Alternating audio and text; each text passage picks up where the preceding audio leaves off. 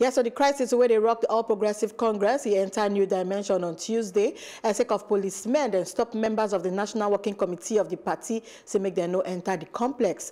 And they got that say Victor Giadom claim and to don't implement one court order where they pronounce him as the acting chairman of the party.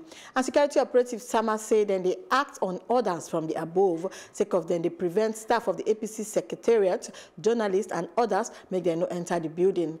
And additional policemen men don't they deploy to the area for the time for this report.